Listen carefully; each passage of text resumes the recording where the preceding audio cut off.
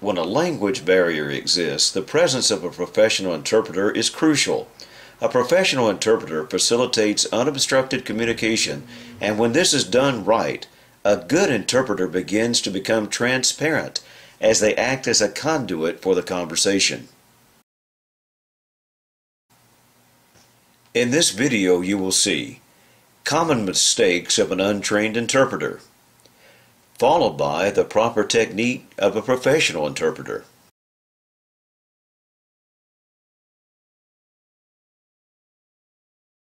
Hello. Hola. Uh, let him know that I'm glad he's here today. Um, él está, dice que está muy contento que está aquí hoy. Um, I just want to start out asking him some basic questions, so let him know that I'm going to do them. Él dice que le va a hacer unas preguntas básicas. Who? Ask him who lives at his house. Él quiere saber quién vive en su casa.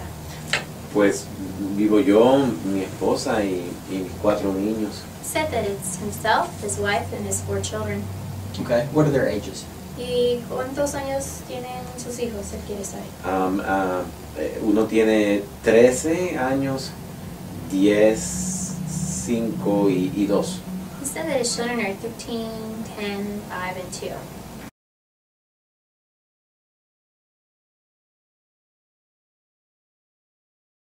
Thank you for being here today. Gracias por venir hoy. I really appreciate you coming out. Y aprecio que está aquí hoy. Um, I just want to start by asking you just some basic questions. Le quiero hacer unas preguntas básicas. Who all lives at your house?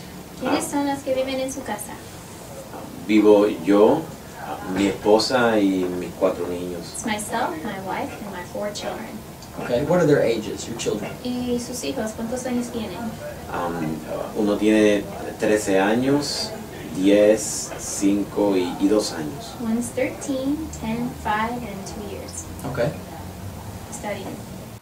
Whenever possible, an interpreter should sit to the side and slightly behind the target language speaker. As you saw in the video, this emphasizes the message, not the interpreter. It reduces distraction and allows the parties to engage each other, not the interpreter.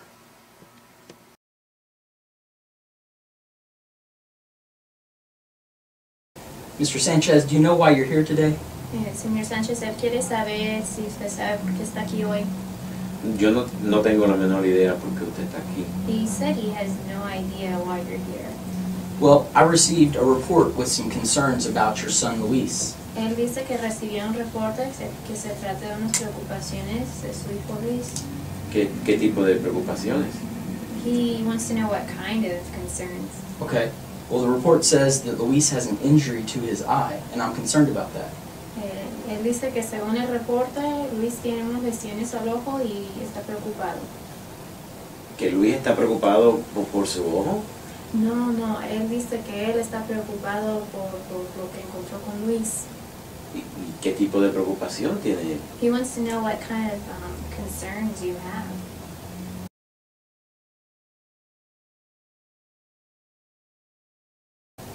Mr. Sanchez, do you know why you're here today? Señor Sánchez, ¿sabe por qué estamos aquí hoy? No, no, no tengo la menor idea por qué. No, I have no idea why. Okay. Well, I received a report that has some concerns about your son, Luis. Recibí un reporte que se trata de unas preocupaciones de su hijo Luis. ¿Qué, qué tipo de preocupaciones? What type of concerns? Well, uh, there's concerns about something that happened to his eye. Unas preocupaciones de algo que sucedió con el ojo de Luis. ¿Y- y ¿Qué pasó? ¿Cuál es su preocupación? Well, what happened? What's your concern? A trained interpreter should always interpret in first person. This is the standard of professional interpreting. It allows the interpreter to become transparent, allows for a more accurate message to be conveyed, and reduces third person confusion.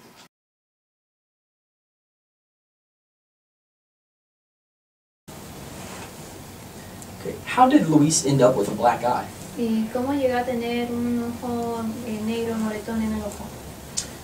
Pues él, él se golpeó con... um, no, él estuvo en una pelea. Um, he was in a fight. He was in a fight. Okay, can you tell me about this fight? ¿Me Ah. puede contar un poco de este pleito? Eh, pues eh, él, él estaba en, en- en el camión de la escuela camino a casa y hubo dos muchachos que eh, comenzaron a molestarlo y le trataron de quitar este, su dinero o le quitaron su dinero y le pegaron y le marcaron un ojo. There were some boys on the bus that hit him in the eye. Okay. What, what else happened? ¿Y qué más pasó? Pues cuando él llegó a la casa y me dijo, yo le dije a él que él tenía que aprender a, a defenderse, que él, que él era muy blandito, tenía que ser más valiente y, y- y pelear. I told him to stick up for himself. Okay.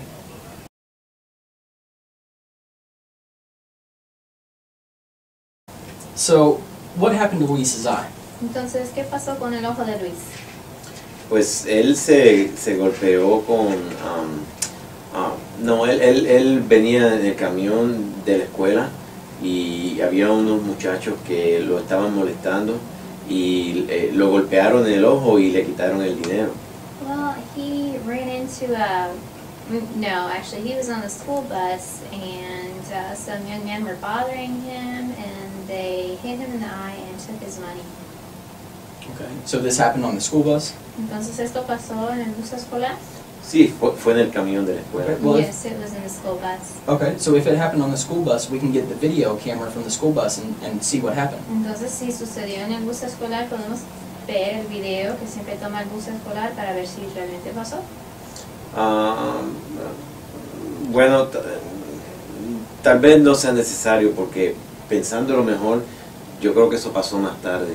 Well, it's not the best idea. Now thinking about it, it might have happened later on.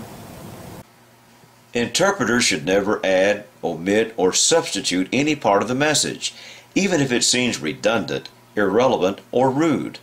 When an interpreter adds or omits, it generally takes away from the message, eliminates useful information, and can change the intent of the message.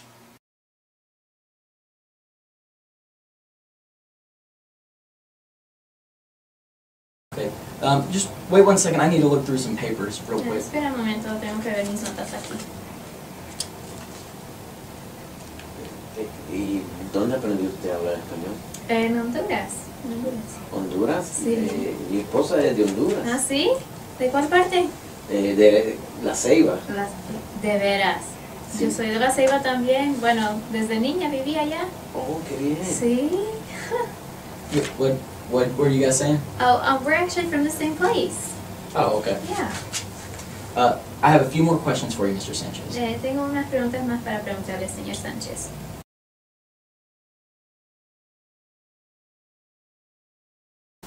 Uh, hold on one second. I need to look through my notes. Eh, espera un momento, tengo que revisar mis notas. ¿Y dónde aprendió usted español? En Honduras. En Honduras. eh, mi esposa es de Honduras, Ah, sí. ¿De cuál parte? de La Ceiba. He's actually asking me where I learned Spanish. I let him know Honduras, and his wife is from the same place where I grew up. Okay. Well, Mr. Sanchez, I have a few more questions for you. No, señor Sánchez, tengo unas preguntas para hacerle. Side conversations should be rare and should never exclude the other party. Ensuring that everything is interpreted reduces suspicion and confusion. Further, interpreting everything ensures that professional role boundaries are maintained.